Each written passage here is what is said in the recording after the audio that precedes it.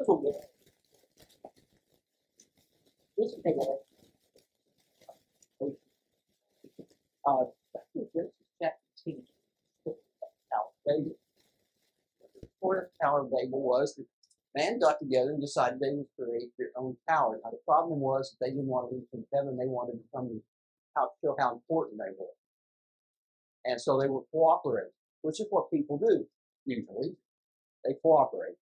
But the problem in their cooperation is they begin to build themselves up, and so God separated them by by uh, language. Now that worked for that, but then how do you communicate to people if they can't talk to each other, if they don't have the same common language, same conflict? That's always a difficult. I remember uh, one time I went to the one that yeah, five Okay, okay. And uh, so we had to check this. I'll never forget what happened. I was going through the lesson, and the class was often puzzled. I finally said, "There are problems. They forget. He's not saying what you said." Not enough of knew English to understand that it wasn't what I was, what I they were portraying is not what I was trying to say. And so there was always this wall, and you have to have break down the wall for that to happen. And that's what is happening in, uh, in our world. You don't have something common, you always have And what you heard, uh, there's a barrier. Don't understand the language that you are most comfortable and that's true because of a lot of reasons. But today we have a wealth, a wealth of ability and uh, language and translations that help us understand our own language. My bookshelf, my physical bookshelf, has 24 different translations of the Bible. Now, if I add my computer Bible to that, that has more than 50 so probably somewhere around 100 to 120 translations of the Bible are available to me today. Are you aware, as we're going to go through this class, that that is a recent occurrence? That that was not always available to us. In fact, if you did not read Greek or Hebrew in the first two or three hundred years, it didn't do you any good. And some some things were happening there. One was a scarcity, if you will a, a scarcity of the text. Uh, but the biggest problem was that people said, we want the people have the Bible in their language. But they had to pay with their lives to make that happen. That's how difficult what we have today is. So the first thing that happened was they didn't have a lot of it. We talked about this a lot. They had scrolls and they had parchments, but the problem is you don't pass those around very well. You don't have a lending library, for instance. You don't have it in your home. You can't just walk over to your shelf and pick it up. Today, one of the interesting things is we have it so available. I read my daily Bible. Uh, on my iPad. I can take it anywhere. Then you have to be on a shelf. I don't even have to have an internet connection. I got it downloaded. And so there was a time though you didn't have that the apparatus.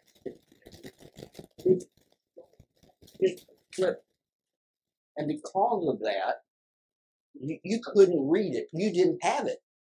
It was unavailable and it might have taken thousands of dollars or hundreds of millions of dollars even in our money to create that.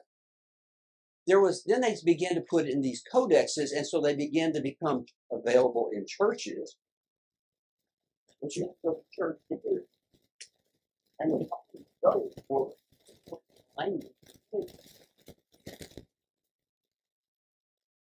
They had been translated into Latin by that time.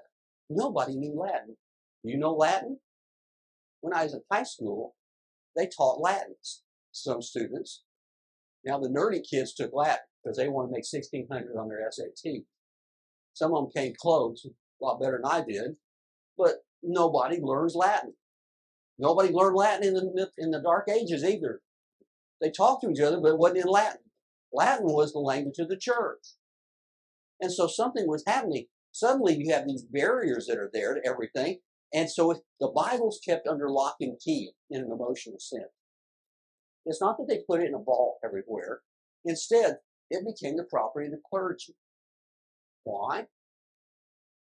They're the ones who learned Latin. They're the ones who had access to the copies. They're the ones who could read it and possess it and have it there. But the other part was you only heard it when you went to church. Term liturgy means the worship service. Um, and uh, so if you wanted to go, you had you hear the Bible, you go to church. But here's the problem. When you went to church, they read it in Latin. You didn't know Latin. Now, isn't that a weird thing? We want to tell people the Word of God, but we're not going to make it available in a way that you can understand what the Word of God is. That's really strange. But that was not the problem. The problem was they wanted control. They wanted control of what you heard and did. And so you were you had to believe what you were told because you had no way of putting your finger on a verse that says, wait a minute. I don't see that here. Right? They still do that, yeah.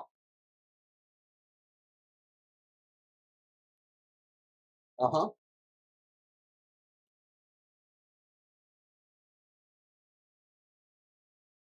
Yeah.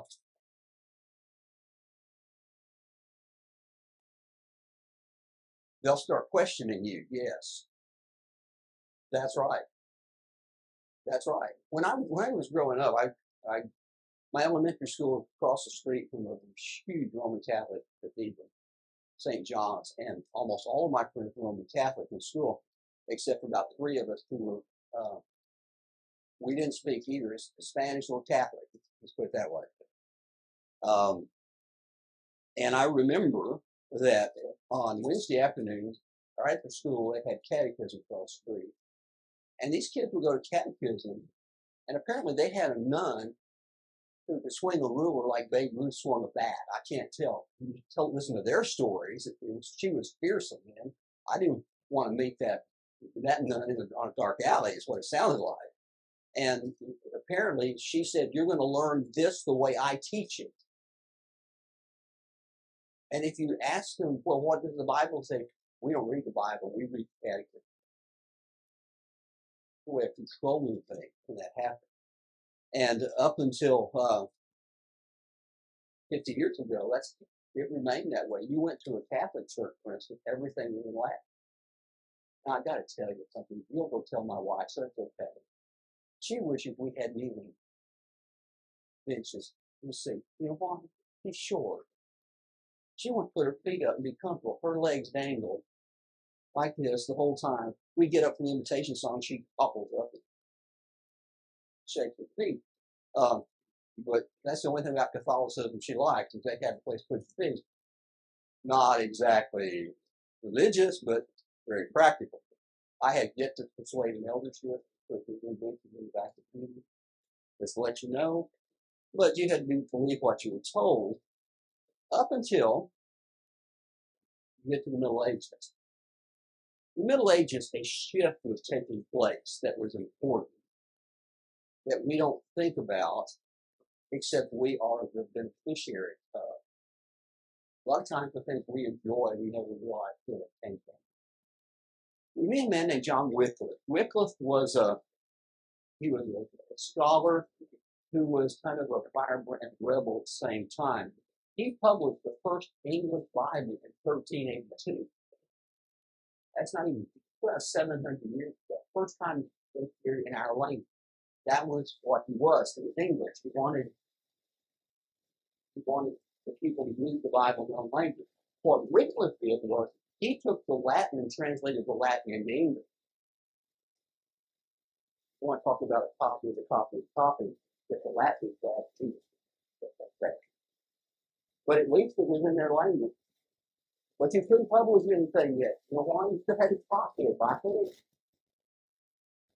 And so not too many people read it, but it was available in underground copies. It was kind of circulated among those who wanted to really read it. Um, and even though it was translated from Latin, several things happened.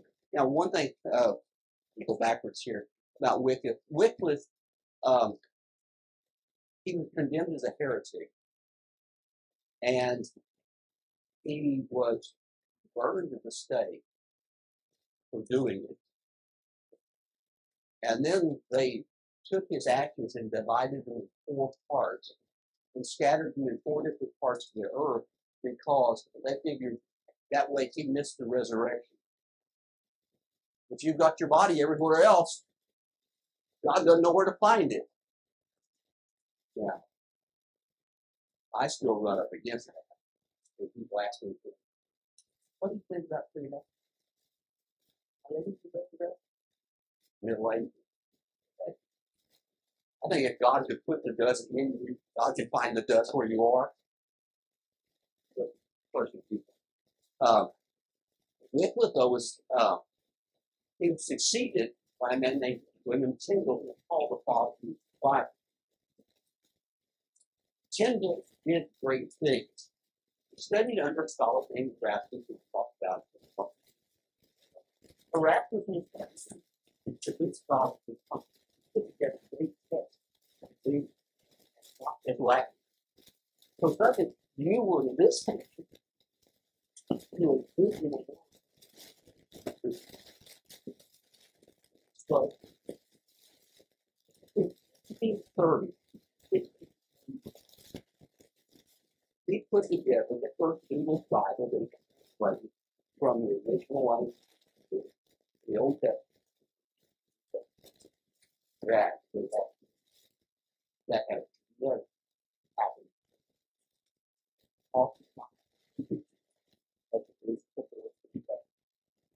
In the middle of all of this, Henry VIII, thinking to uh,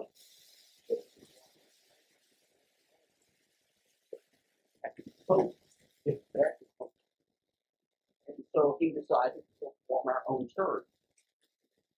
From the Church of England, he divorced himself from the Church of England. And it looks exactly like Catholicism, except they allowed him to get a divorce. And so, whatever of the problem with the Catholic Church, and they've had a lot, freaking secularism, there was greed. You want to know how you built those cathedrals in Europe? Is you is you took money from the people. I don't mean contributions. I mean you bought held them up if you had to. And so they built these great cathedrals, and the people were in it, and they were being forced into poverty. And so he criticized that in the Church of England, and by the he, flees to, in 1536, he flees to Belgium, hoping that maybe uh, Charles V, the Holy Roman Emperor, will give him uh, asylum. The problem is he's arrested in Belgium, where he is strangled, then burned, and pays with his life. He said, I would to God that the plowman would sing a text of scripture at his plow, the weaver at his loom, with this would drive away the tediousness of time, I would that wayfaring men with his pastime would expel the weariness of his journey. He says, I want people to be able to read the Bible to know for themselves what God has to say. Isn't that a novel idea? Today we go, well, of course. The of course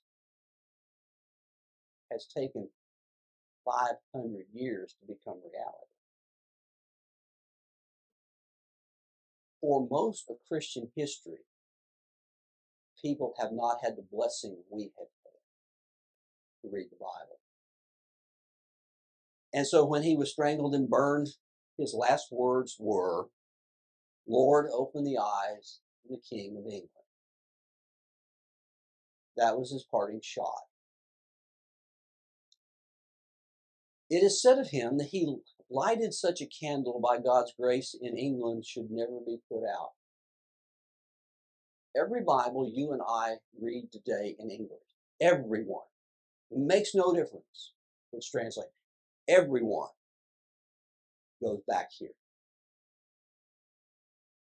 Whether it be a King James, a New Revised Standard, an English Standard, no matter what it, it always goes back to, to uh, Tyndale. We have it because of it. And he died for it. Never treat the Bible as not something precious. People spill their blood to make sure you and I can read. And then, in 1440, Gutenberg develops printing press. Now you can publish. Now you can print hundreds of copies at once, and it's cheap, and anybody can have them. It, we we sometimes talk about inspiration as uh, as putting words on the page. I think inspiration is broader than that. As I told you, it's about uh, preservation as well. And I think part of the preservation comes here. It, it says in Galatians chapter 4, verse 4, that in the fullness of time, Jesus came forth born of a woman born under the law. In the fullness of time, God has his moments that he uses pre- precipitously to make things happen. I think that's one of these. Suddenly you have this interest in publishing the Bible so people can read it. And you have the mechanism come together where it can be published so people can read it. Now people can read it for themselves in a way no one else could before. He, Tyndale had his successor. The Coverdale Bible was one of those, as was uh, Matthew's Bible, that uh, they were additions based on what he had already done. But more and more were being put out in various places. There was the Great Bible. They call it Great Bible because it's big. It's the first Bible been used in, uh, in in churches, and uh, it stood at the big front of the church, and it was in English. And the first time you could read English in church was because of the Great Bible. Um, and it was it was one of those things. Years ago, you're old, you've been around Waterview long enough, and I have you may have to go back 50 years ago. I remember on Sunday night in the auditorium on the communion table, we obviously didn't have communion, and so um, when we had scripture reading, we had an interesting thing. Um, we had a Bible. If I'd have gotten here in time today, I'd take a picture. You, if you want to see it, take a trip behind the pulpit. Uh, it's always bothering me to keep the Bible under the pulpit. There's something symbolic about that. That's important. But we have we had this Bible. It's, it's a Bible. And Bill Gallagher had had made a beautiful wooden standing with and we had a spotlight. Spotlight's still there, doesn't work. Spotlight. Turn that spotlight. That spotlight, that Bible. The reader would go up and take that Bible and spin it back around where he could read it. He would read it, and at the end, he'd spin it back around where he was. I gotta tell you, I'm 68 years old. I still remember that. I can't tell you what the scripture reading last week was. I can remember those. Why? The majesty of something. And, and that was exactly what they did there. The Great Bible took its place. The Geneva Bible was put out in 1560. It did one thing that uh, no other Bible had done before. It had illustrations and notes. It was the what I would call the first study Bible. You know, study Bible. That's the things that people get got all these notes, and everything. And if you're in a Bible class, somebody said, "Well, my note says," like that scripture. Yeah, huh. You know, I don't know what whether AI put that out or somebody didn't know anything. A lot of them were wrong, by the way. So, but this was the first study Bible. It had notes, it had pictures, it tried to explain things, it had had commentary that went with it, and people loved it because suddenly they understood what uh, what the tabernacle looked like. They had at least a raw conception of what Noah's Ark. By the way, their Noah's Ark was a curved bottom boat, like I grew up with, in Bible class. It wasn't a curved bottom boat. Um, but should be make it made the story go better for preschool. Um, but that's what they had. They also did several other things. They printed chapters and verse numbers, and they put in words that were that were not original in italics. Let me show you what that means. Single verses. This is Isaiah 66. You notice there's a verse there, there's a verse there, there's a verse there. They all look exactly alike. You come over here to the New International Version, and it's put together in paragraph form.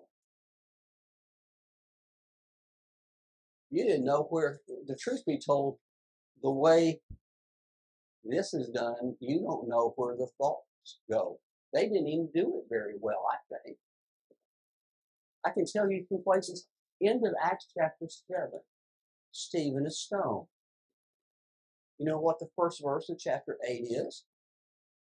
And Saul was there approving to his death. That goes with chapter 7. You go to 1 Corinthians chapter 11, verse 1. It goes with the three chapters before it, but it says, Follow me as I follow Christ. That goes back to those other chapters. It doesn't belong in chapter 11. You know why they did it that way, don't you? They had a certain number of verses they read in church on Sunday, and that's where they needed to break it. Pathetic reason to do that, but that's what happened.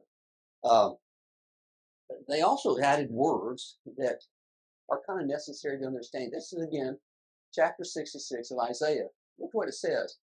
Where is, and is is italicized, where is the house that you built for me, and where is the place of my rest? The term is is not there in the original language. They supplied it because that makes good English, proper English. You come down, and it says, for all those things, it really read, for all those hath my hand made. They said, you kind of need to know what the those are. I think they must have had an English teacher that went to church there. Uh, and I like this one here. He that offereth an oblation as if he offered swine's blood, they tried to make that sound more appealing. And so when you, if you have a Bible today that uh, has those kinds of things, italics, it doesn't mean they are more important. And we always say italics mean those are the important things. No, they're not. Those are the things that don't belong there, but we have to have them to understand it. The other thing they did was they put the words of Christ in red. Those are holier, so you put them in color. Uh, never quite understood that. And then there came what's called the breeches Bible. I say breeches because they weren't from the South. We don't have breeches. We say, if you don't cut that out, I'm going to warm your breeches. If you need a translation for King's English, breeches is how we say it. Because in, in Genesis chapter 3 and verse 7, it says that Adam and Eve sowed fig, notice how they spell fig, fig tree leaves together and made for themselves breeches. They made themselves some pants. Can you imagine how that sermon went? They got their sewing, singer sewing machine out. They made them some pants. That's kind of what that says. The breeches Bibles are what they called, and that's where it came from. Um, but this was these were the Bibles of the Pilgrims and the Puritans when they came to America at, at Plymouth Rock and other places.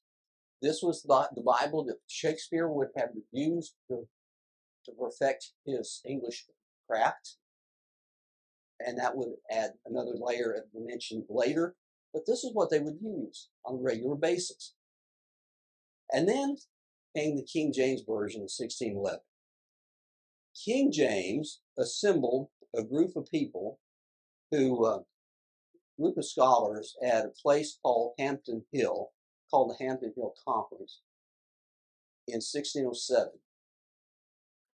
His goal was to deal with religious tolerance. After all, everybody wants to leave England because if you don't agree with the Church of England, we'll, we'll kill you. Nobody wants to stay in an oppressive environment that. And so that's why all these people willing to risk death crossing the ocean to do it. Uh, and, but all these scholars got together, and one of them was a guy named James Reynolds. And James Reynolds said, I think what we need is a new translation of the Bible. one that people can read, that they can understand, and, and find out for themselves what God has to say. Well, to James's great credit, he thought that was a great idea. May have been the only thing he thought was a great idea in his whole life. The rest of his reign is just pathetic. But this is the best thing that came out of it. But he gave them a rule. Here's the rule he said I don't want any notes of comment except what is essential in translating the text. Don't make a study Bible out of it. Put only what's there and not what's not there. And several things were, took place with that. First of all, is based on the Greek text of Erasmus, which is called the Textus Receptus, or the received text. Uh, we mentioned this before, I'll bring it back here again. Erasmus was a great scholar with a huge ego, and his text was as good as it got for the 1600s. They had not found the oldest and best manuscript yet, so he was using the best that he had. And then you had these critics who wanted to undo him, so they inserted words, and that's why in the King James Version you get a different reading of First John chapter five, seven, and eight. That was Erasmus that did that. They used that as the basis of the text. And every other translation since that time, since the 1700s, has said the this is late and it's not found in any Greek manuscript before the 16th century. You start reading them and you know exactly when it came because you'll find it for you. Ever. Nowhere. So we know that John didn't write it it was inserted. So we try to do that. Now, one of the things that happened is this page. I'll show you this page for reading. When I was growing up, we had, my mother had some dear friends who lived in Stanton, Texas. In Stanton, Texas, Preston was the man of the family. He was a farmer. He was one of these guys. He had just brown, brown, leathery skin, but he had really white hair here uh, up. Spent all day long on tractors. He was an elder in the church down in Stanton. When I got when I got in college, I did what every college kid do. I, I paraded my ignorance. Understand something about college kids. They think they know everything. They're dumber than dirt. I was. I thought I was tough stuff. I had I was going through Bible courses at Abilene Christian University. I knew this, I knew this, I had a lot of facts, I had all this stuff. I had two years degree, blah, blah, blah, blah, blah, blah, blah. I didn't know nothing. But I thought I knew everything. So one day, I don't know how we got on this subject. He, we started talking about translations of the Bible. And he said, Oh, I only use the King James Version of the Bible because that's the one that's authorized. I said, What? He said, Only one's authorized. I said, What do you mean? He said, It says it right there. It's authorized. He went and picked his Bible up off the shelf and he showed me this page. And sure enough, right here, it says authorized. King James Version. You think God put that there? No, no, no, no. That means that this hasn't been tampered with. It's approved by the, by the crown.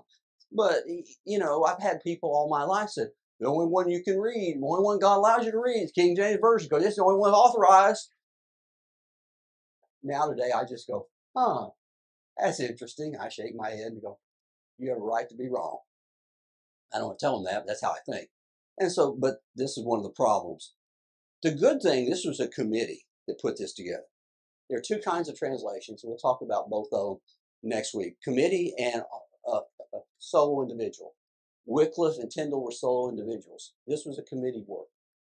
The good thing about a committee is a committee is slow and deliberate, while an individual uh, can be fast. But what they had to do, they had to work out different viewpoints of Scripture. They had to work out what did this really say. And somebody said, I think it says this. And another said, no, I don't think it says that. And they had to hammer that out. And it makes for a much better text when people do that. And so this was a, a, a very distilled, very, very good. I'm not going to dismiss the fact it was a very good translation, still is, for a lot of reasons. One of the things they did, though, they had a inlet. Now, the only way you can get this now is to pay $3.99 to Amazon to, down, to, to buy it. But it was called the translators to the reader. It gave their philosophy of why they were translating the Bible and how they did it. One of the things they put in that is a quotation from Isaiah chapter 29, verse 11, that says, Read this, I pray. He was fain or joyous to make this answer. I cannot, for it is sealed. Is there a way of saying, there was a time this was sealed away and you couldn't read it. And you wanted to read it, but you couldn't. But now read this because you can't. Not bad instructions for people. Think about all the language that's come out of the King James Version. We use words today.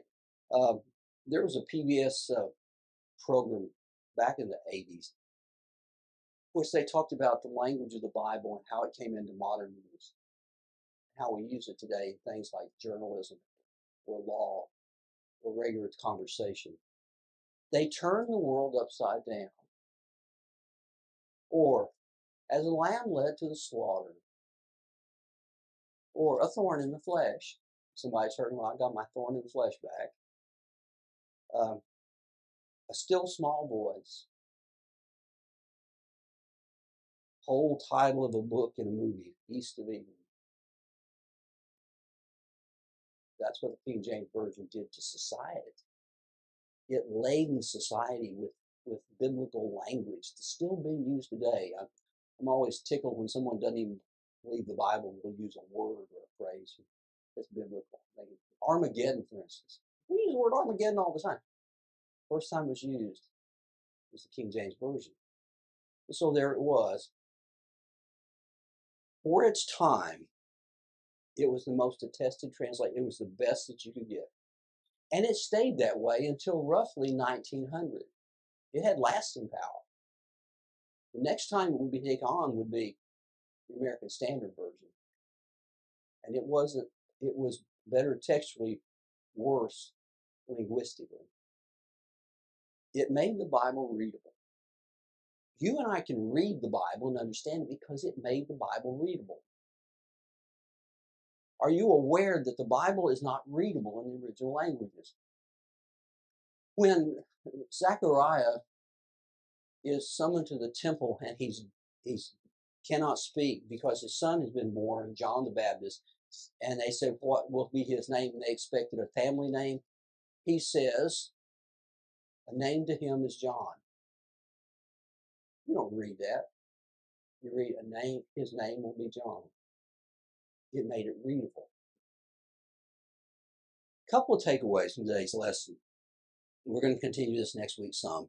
We take for granted that we have Bibles with read. Oh, yeah. We pull them off the shelves and put them back. I mean, they're everywhere. They, I don't know if they're still in hotel rooms or not, but you know, it used to be you go to a hotel room, you go down and find a Bible.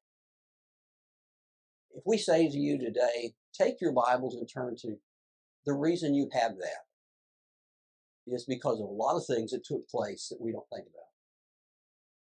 But we also take for granted the price people paid to give us that blessing. We have it not because it was easy, it was because it was hard. And they paid with their lives.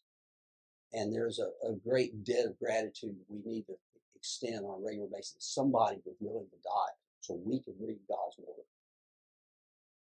So next week, we're going to tackle one more piece of this, which is you have all these translations, you go, I don't know what to read. Problem with choices, you have choices. And so you have maybe two dozen translations. Which one's the best one? How do we approach these choices we have in translations today? And we'll talk about that again next week.